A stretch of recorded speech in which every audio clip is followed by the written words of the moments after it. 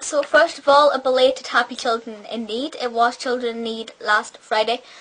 Um, and I thought I was going to do a video on the Friday, you know, say Happy Children in Need. I hope you're all donating and having a good day. But then I thought, no, I'll wait until today um, to post this video and make it and I'll talk about the TV highlights because of course that fits in with the channel.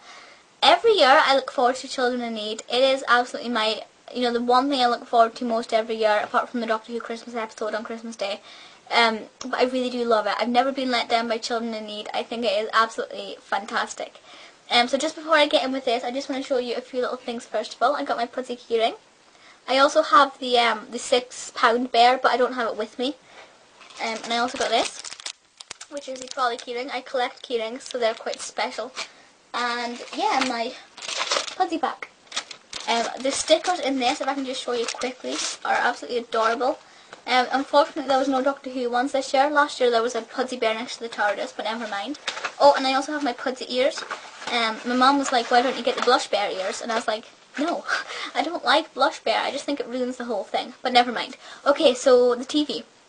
I started off with Cheryl doing a Promise This performance, um, which is brilliant. You guys know I love Cheryl Cole, so if I haven't, to have her opening the show was incredible.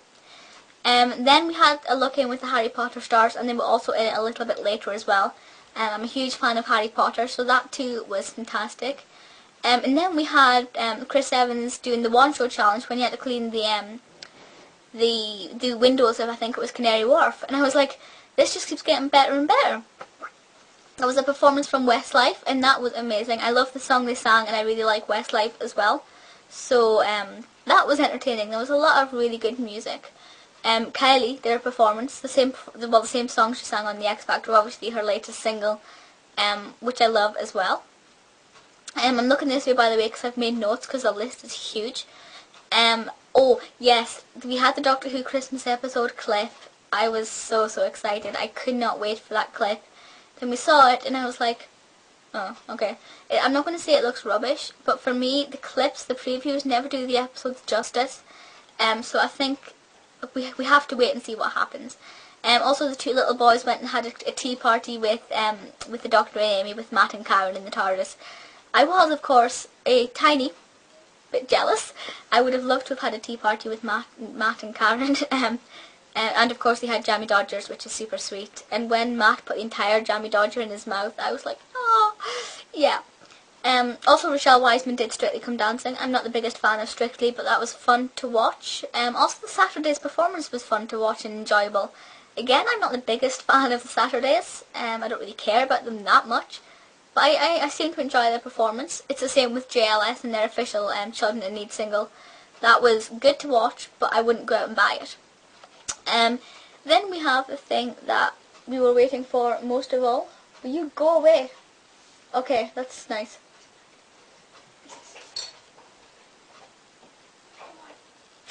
Sorry about that. My mother decided to come in and show me the hamster. She had the hamster in her hands. I'm like, that's she just shouted he's asleep. She's walking around with a sleeping hamster in her hands. That's probably the highlight of my day. Anyway, yes, so the one thing that everybody was looking forward to the most was East Street, which is of course when EastEnders met Coronation Street soap fans will absolutely love, love, love this if they haven't seen it, which I think they would have done by now. But every soap fan, every Corrie fan, and EastEnders fan was so excited for this. And I really was ecstatic. I was like, oh my god, they're going to meet! Because I've always said that they have to go and meet. And they did. Um, so what happened is um, Walford and um, Weatherfield were, were going to be twinned. So um, I think it was four or five people from Corrie went to Emmerdale, um, EastEnders even, and the same amount went from EastEnders to Corrie. And they sort of paired the characters up a bit. So there was a bit where um, Christian went over to um, the Rovers and he was with Sean, of course, the, the soap's two central gay characters. Um, so it was nice to see the sort of the similarities but the differences between the two. Um, Liz McDonald was behind the bar in the Queen Vic with Kat Slater. Um, there was a scene with Jane Jane in, in the Corrie calf, which was kind of weird because obviously I'm used to seeing her in um, Kathy's calf. Um, there was a sort of scene with Sunita and Zainab, which I thought was really quite sweet. Sort of the fighting between the two of them. Um, obviously, Sunita's quite a likable character. Zainab is a likable but hated character at the same time, so it was it was weird. Um, then there was the sort of the bitch off between Gail and Denise over who had the most insane husband. Um, I prefer Denise to Gail. I'm not a massive fan of Gail. Helen Worth as an actress I like, but Gail as a character I don't really like her. So I thought, you know, Denise had the points there. Um, and also Shane Richie um, as Alfie sang um, with Kim Marsh. Um, you know, the one that I want, the Grease song. And I thought that was lovely because Shane obviously used to play Danny Zuko in the West End. Was it the West End or just there? I think it was the West End. Shane used to play Danny Zuko anyway, so it was really lovely. It must have been nice for him to go back and sing those songs. Um, and obviously it was really good. The ending of it I thought was quite nice. The fact that there was the identical charms on Kat and Liz's bracelets. Um, and the fact where Kat turns around and goes, you ain't my mother. And, so, and um, Liz goes, oh yes I am. Um, obviously, I wish she'd screamed it out like um, Kat had done to Zoe all those years ago. But yeah, so East Street was a huge success. I don't know any soul fan who did not like it. Um, I love, love, loved it. I wish that Corrie and EastEnders would mingle more often. You know, just like one of them popping up in the other street just randomly here and there. That'd be quite nice. But never mind. Um, John Barrowman. Um, I, I was getting quite panicky actually because every year John Barrowman performs and I love it and I look forward to it and I absolutely love it. Last year he sang in his boxer shorts. I was like, oh, wow. Um, but this year um, we only got to see him when he was doing a little bit in Glasgow when he was introducing Alexandra Burke and he had on a spotty white suit. Well, a white suit with like the polka dots on it. Um, all glittery and sparkly and I, my heart melted. I love it. Um, yeah.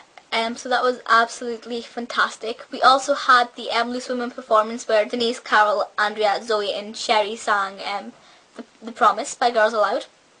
Absolutely fantastic. Very impressed with Andrea. I didn't know she can sing. Andrea is a, quite a really good singer. She can hold a tune. She can hold the note. Obviously Zoe is a professional singer in the lot, so it's needless to say that she can sing. Um, Denise was really good. Um, Carol and Sherrie were really sweet, I'll say that. Um, but yeah, I was really impressed by Andrea. They all looked absolutely fantastic. Um, brilliant performance, and I wish they'd do more like that. Um, and the last thing is Come Down with the Dragons. I do love Dragons Den. So it was really nice to sort of watch that. It was a bit long. It was like 13 minutes or something. Um, but it was worth it was it was worth sitting through. It was really quite enjoyable, and the whole thing with the dragon smoke and that was kind of weird, um, but a really nice touch. Um, so in all, Children in Need 2010 was probably the best year, I think. Definitely the best year. Every feature in it I basically loved. The newsreaders were great as well. Um, but for me, the highlight was East Street.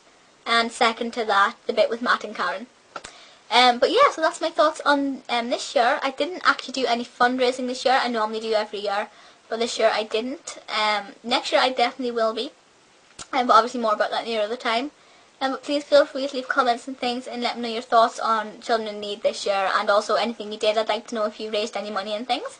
Um, but please feel free to leave comments and things and I will see you next time. Bye guys!